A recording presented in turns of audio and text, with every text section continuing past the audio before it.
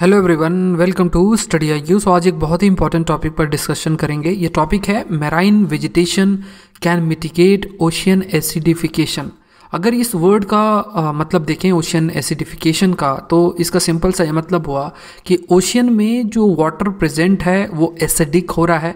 इस पर हमारा सेपरेट लेक्चर है तो उसे आप रेफ़र कर सकते हैं कि ओशियन एसिडिफिकेशन का क्या मतलब है और साथ में इसका क्या इम्पैक्ट है। तो हाल ही में जो रिसर्च हुई है वो रिसर्च ये हाईलाइट कर रही है कि जो मेराइन वेजिटेशन है मेराइन वेजिटेशन का यहाँ सिंपल सा यह मतलब हुआ कि समुद्र के आसपास जो पेड़ पौधे होते हैं या समुद्र के अंदर जो सी वीड्स प्रेजेंट है सी वीड्स का ये मतलब हुआ कि जो एल्गीज प्रेजेंट है समुद्र के अंदर, वो बहुत इंपॉर्टेंट रोल प्ले कर सकती हैं इन रिड्यूसिंग ओशियन एसिडिफिकेशन तो ये किस प्रकार से रिड्यूस करेंगी, इस पर हम चर्चा करेंगे। This video is presented by me my name is Saurabh Pandey इस लेक्चर का पीपीटी आप मेरे फेसबुक पेज से डाउनलोड कर सकते हैं। My I D Saurabh Pandey zero zero nine तो इस टॉपिक को समझने के लिए हमें ओशियन एसिडिफिकेशन के बारे में जो कंसेप्ट है वो क्लियर होना चाहिए। उसको ब्रीफ में डिस्कस करते हैं। डिटेल में हमने अपने प्रीवियस लेक्चर्स में डिस्कस किया तो उसे आप रिफ़र कर सकते हैं। तो ओशियन एसिडिफिकेशन की बात करें तो ओशियन एसिडिफिकेशन का सिंपल सा ये मतलब हुआ कि ओशियन में जो वाटर प्रेजेंट है, उसका जो पीएच का लेवल है वो रिड्यूस हो गया। इसका क्या मतलब हुआ? अगर हम पीएच की बात करें, पीएच का सिंपल सा मतलब क्या हुआ कि पीएच एक स्केल है जिससे हम ये नापते हैं कि जो लिक्विड है या वाटर है वो एसिडिक है या बेसिक है। तो अगर पीएच स्केल की बात करें तो ये जो पीएच स्केल है, इसमें अगर किसी भी लिक्विड का जो नाप हम कर रहे हैं या पीएच की उसकी जो वैल्यू है, वो सात से कम है, सात से कम होती चली जा रही है तो उसे हम क्या बोलेंगे कि वो लिक्विड एसिडिक है। अगर सात से ज़्यादा होती चली जा रही है तो वो लिक्विड बेसिक है। ये जनरल सा कंसेप्ट है। तो जब ओशियन एसिडिफिकेशन की बात करें तो इसका सिंपल सा ये मतलब हुआ कि जो वाटर है वाटर का जो पीएच है, वो धीरे धीरे कम होता चला जा रहा है। इससे जो वाटर है ओशियन का वो एसिडिक होता चला जा रहा है। अब ये क्यों हो रहा है? इसके पीछे क्या रीज़न है? सिंपल सा रीज़न ये है कि एटमॉस्फेयर में कार्बन डाइऑक्साइड की मात्रा बढ़ती चली जा रही है और ये जो कार्बन डाइऑक्साइड की मात्रा बढ़ेगी, ये वाटर से रिएक्ट होगा और क्या होगा?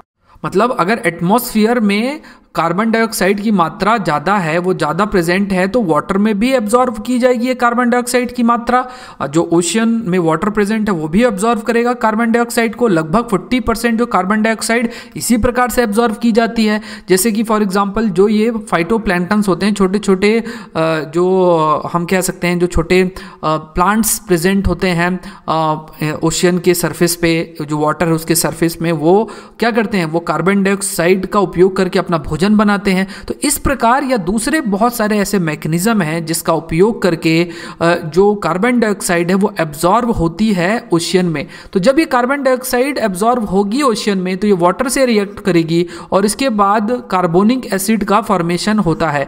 ये कार्बोनिक एसिड रिस्पॉन्सिबल है क्योंकि ये काइंड ऑफ़ एसिडिक है ये काइंड kind ऑफ़ of एक एसिड है। इस वजह से जो ओशन का वाटर है, वो भी एसिडिक होता चला जाता है। अब धीरे धीरे क्या होगा कि ये जो है फर्दर ब्रेक होती है और H प्लस आयन और जो हाइड्रोजन बाइकार्बोनेट आयन इस पर ये टूटती है। फर्दर इसका जो ब्रेक डाउन होता है कार्बोनिक एसिड का। तो H प्लस आयन का जितना ज़्यादा कंटेंट या कंसनट्रेशन इंक्रीज होगा वाटर में, उतना ही ज़्यादा वो वाटर एसिडिक होता चला जाएगा। तो जो स्टडी हुई है स्टडी सिंपल सा क्या हाईलाइट कर रही है? स्टडी ये कह रही है कि मैराइन प्लांट्स मतलब जैसे मैनग्रोव हैं, या सी वीड्स जो एल्गीज हैं, या दूसरे जो प्लांट्स प्रेजेंट होते हैं समुद्र के आसपास जो शैलो कोस्टल इकोसिस्टम है। जैसे फॉर एग्ज़ाम्पल इंडिया की बात करें तो इंडिया के इस मैप में अगर हम देखें तो यहाँ पे हमारे पास बे ऑफ़ बंगाल है, ये अरेबियन सी है। तो ये जो समुद्र के पास का एरिया है, इसे हम कोस्टल एरिया कहते हैं। तो यहाँ पे जो भी मैराइन प्लांट्स प्रेजेंट हैं, ये बहुत ही इंपॉर्टेंट रोल प्ले करते हैं, जिससे कि ओशियन एसिडिफिकेशन ना हो। तो ये एक बहुत इंपॉर्टेंट पॉइंट है, जो हमें ध्यान रखना है। और ये जो रिसर्च है, ये रिसर्च किस किसके द्वारा की गई है? यूनिवर्सिटी ऑफ़ कैलिफ़ोर्निया के द्वारा। अब ये जो स्टडी है, ये पैसिफिक कोस्ट में स्टडी की गई और इसमें ये बताया गया कि मैराइन प्लांट्स और सी वीड्स बहुत इंपॉर्टेंट रोल प्ले करेंगे in reducing acidity of ocean water और कैसे बाय दिस प्रोसेस फोटोसिंथेसिस इसको थोड़ा सा समझते हैं। जैसे फॉर एग्जांपल हमने डिस्कस किया कि ओशन का एसिडिफिकेशन कैसे होगा कि कार्बन डाइऑक्साइड का उपयोग किया जाता है।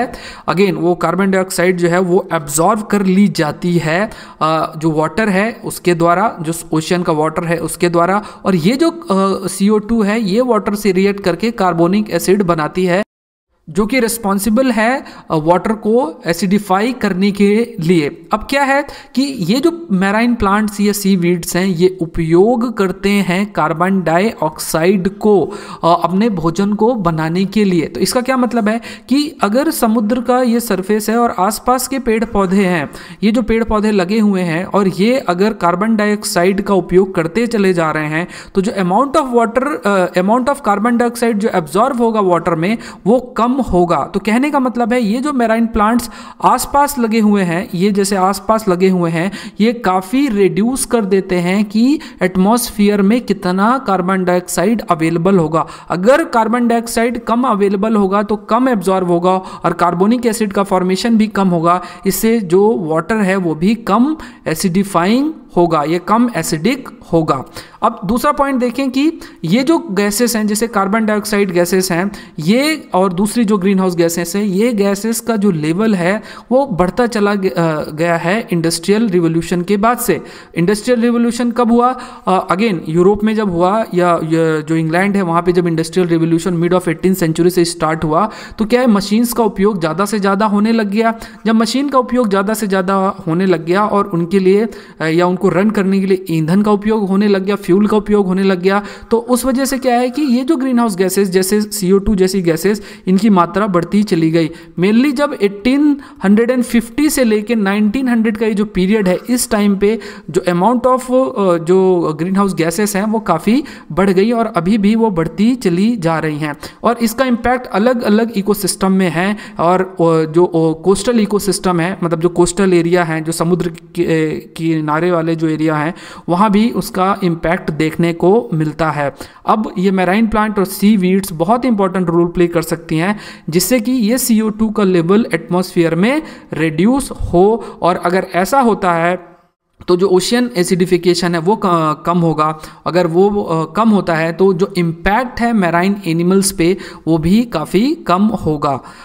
दूसरा पॉइंट है कि 90 percent of fishery catch comes from coastal ecosystem लगभग 90 परसेंट जो जो फिशेस पकड़ी जाती हैं जिनका उपयोग अगेन कंज्यूम करने के लिए भी होता है और अपनी लाइवलीवुड जनरेट करने के लिए भी फिशरमैन के द्वारा किया जाता है। तो ये फिशरीज कहाँ से आती हैं? फिशेस कहाँ से आती हैं? कोस्टल एरिया जो तटीय क्षेत्र हैं, वहाँ से इनको कैच किया जाता है कैच किया जाता है। और अगर ओशियन एसिडिफिकेशन होगा तो क्या होगा? इसके काफ़ी सारे दुष्प्रभाव भी हैं नेगेटिव इम्पैक्ट भी हैं, उनमें से एक अगर हम समझें, जैसे फॉर एग्ज़ाम्पल कार्बोनेट आयंस जो होते हैं, ये जो कार्बोनेट आयंस होते हैं, इन कार्बोनेट आयंस का उपयोग कई सारे जो, जैसे फॉर एग्ज़ाम्पल कोरल्स हैं या शेल फ़िश हैं, ये उपयोग करती हैं इन कार्बोनेट आयंस को अपने जो स्केलेटन है, उसको बनाने के लिए। जैसे फॉर एग्ज़ाम्पल जो कोरल्स हैं तो वो कोरल्स का जो स्केलेटन है, जो ऊपरी सतह है उसका, वो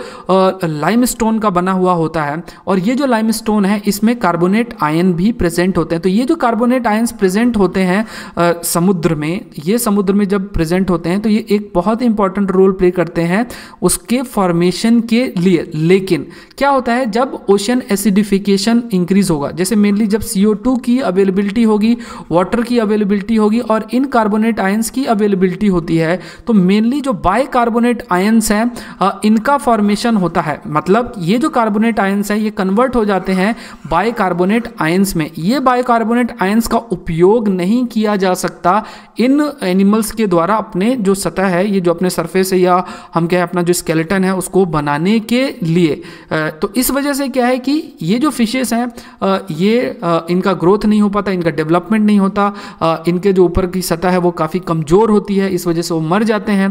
तो ये बहुत इंपॉर्टेंट फैक्टर है ओशन एसिडिफिकेशन एसिडिफिकेशन जिस वजह से जो डाइवर्सिटी है मैराइन बायोडाइवर्सिटी है मतलब ओशन की जो बायोडाइवर्सिटी है वो काफ़ी कम होती चली जा रही है।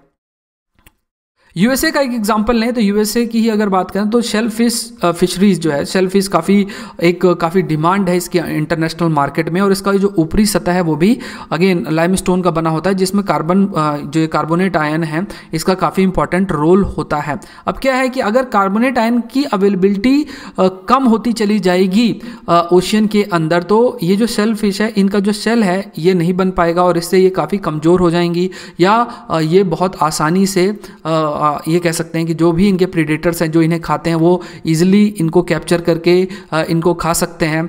और मतलब यहाँ प्रीडेटर्स का ये मतलब है कि दूसरी जो बड़ी फिशेस हैं, और क्योंकि इनका ऊपरी सतह काफ़ी कमज़ोर है तो अपने आप को भी ये जब भी कोई टेम्परेचर या प्रेशर इंक्रीज होता है तो उस वजह से भी अपने आप को ये नहीं बचा पाती। तो ये सारे फैक्टर्स रिस्पॉन्सिबल हैं, जिस वजह से जो सेल्फ फ़िश फिशरीज है, वो काफ़ी रिड्यूस हो रही है यूएसए में भी।